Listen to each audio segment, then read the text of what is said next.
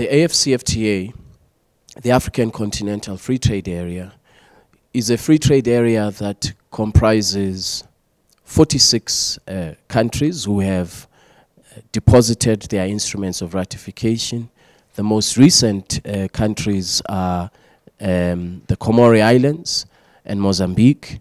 And I'm very happy that uh, between uh, these two countries, or with the addition of these two countries, we have 46 countries that have ratified the agreement establishing the AFCFTA. Only one country has not signed the agreement establishing the AFCFTA, and we are uh, working uh, with that country. Um, with the countries who have not yet ratified, it's not because they have a political opposition to the AFCFTA or because they have uh, a different view. They just have to go through the domestic process of uh, consultations to enable the private sector, civil society, to better understand the AFCFTA so that the governments can, um, can ratify. We're building a, a, a market of uh, 1.3 billion people with a combined GDP of 3.4 trillion United States dollars. By the year 2035, the, the AFCFTA market, the combined GDP of the AFCFTA, AFCFTA market is estimated to be close to 7 trillion United States dollars. That means that there are opportunities for small medium enterprises, uh, for young entrepreneurs to export across regions of the African uh, continent and to take advantage of this vast market. However, if we don't have an integrated single market, we will not be able to achieve uh, the positive projections that many around the world have made about the potential of the AFCFTA. For example, the World Bank has projected that by the year 2035, uh, the AFCFTA has the potential to lift 100 million Africans out of poverty, to contribute over $450 billion to Africa's GDP, and to boost intra-Africa trade by over 80%. This positive projection and the potential uh, for small medium enterprises and young entrepreneurs will not become a reality if we do not accelerate implementation of the AFCFTA. But as I said earlier, I'm very pleased that we now have 46 countries who are in implementation mode of the AFCFTA.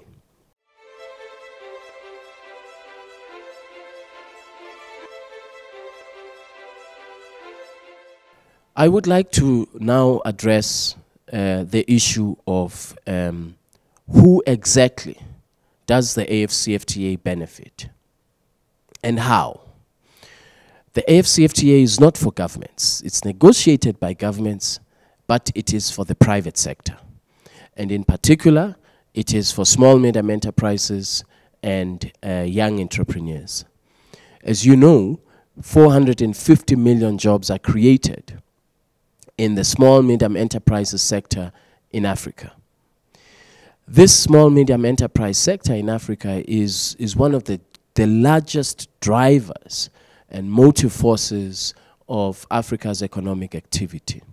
And so it is absolutely critical that as we implement the AFCFTA, we do so in a way in which small medium enterprises and young entrepreneurs uh, will benefit we have introduced what we call the Guided Trade Initiative, which is an initiative intended to assist countries who have ratified the AFCFTA and to assist um, small medium enterprises to know how to trade under AFCFTA preferences and under the rules of the AFCFTA. So for example, last year uh, there were smallholder farmers of um, tea from Kenya who exported uh, to Ghana.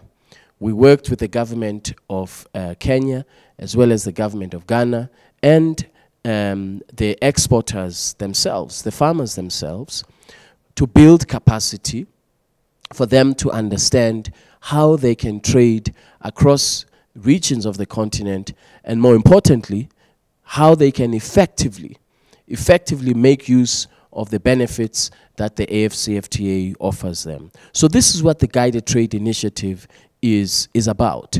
Last year, seven countries participated in the Guided Trade Initiative, with um, uh, small medium enterprises being uh, part of that initiative, uh, as I've just mentioned in the example of um, the, the, the exports of the tea from Kenya to Ghana to demonstrate the benefit of the AFCFTA.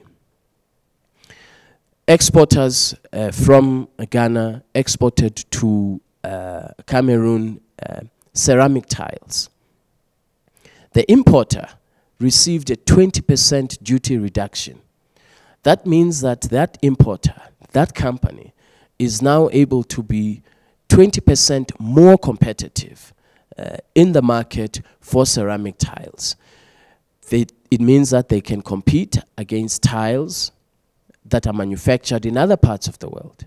So this is a demonstration of the benefits, the preferential treatment that we provide to one another in the AFCFTA market, and we used the Guided Trade Initiative to showcase um, these examples of the benefits of the AFCFTA. There are, of course, challenges also, and that's why we uh, started this initiative. It's not easy to understand how to export from your country, your region, to another part uh, another region of the African continent.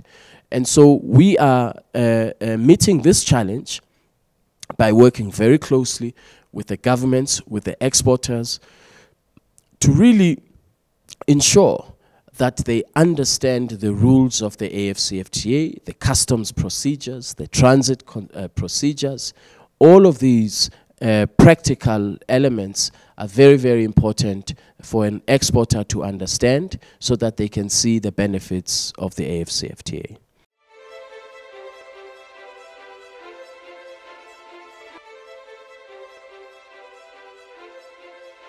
As we all know, one of the biggest challenges the African continent has is the cost of currency convertibility, uh, which contributes to a higher cost of trade. If you are in Ghana and you want to trade with somebody uh, in Kenya, you have to first convert the Ghanaian cedi into a third currency, usually the dollar. Your counterparty in Kenya receives the dollar, and then they have to convert the dollar into the Kenyan shilling.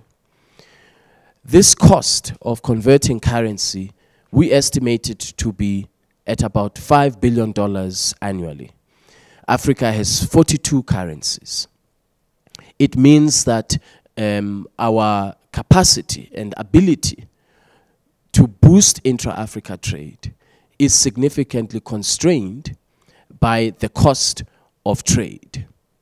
That is why we have um, partnered with Afreximbank to introduce the Pan-African Payments and Settlement System, which is a digital system to enable trade.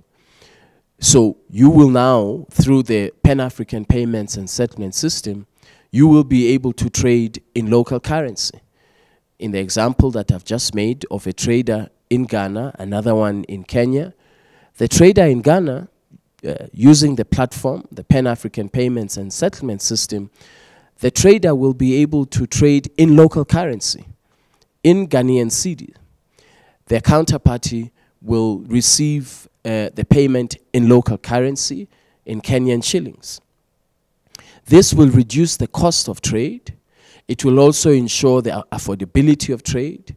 And more importantly, it will benefit small and medium enterprises and young entrepreneurs uh, who are not able to afford uh, the exorbitant amounts that are required um, to change currencies, um, convert currency from local currency into the dollar to enable uh, trade uh, to happen. And so the Pan-African Payments and Settlement System is one of our biggest deliveries uh, uh within the framework of the AFCFTA, And I'm very proud that uh, we're working very closely with Afrexim Bank to make sure that more and more countries, more and more commercial banks are part of the Pan-African payments and settlement system uh, so that we can make trade affordable, accessible, and so that we can boost the productive capacity and competitiveness of the small and medium enterprises in Africa.